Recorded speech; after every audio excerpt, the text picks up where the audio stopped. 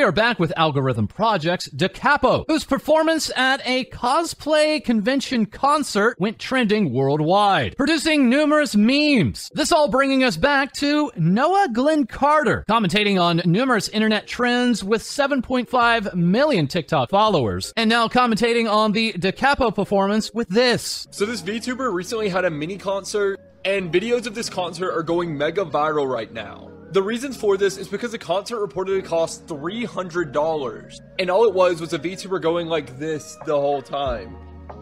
And before you ask, yes, that's exactly what happened at the real concert. Now, I just want to know, would y'all pay $300 to see a looping GIF? That being a major point of misinformation. The number coming from a conversion rate error, when in actuality, a week long pass to this convention cost less than 10 US dollars and was free to those who were cosplaying.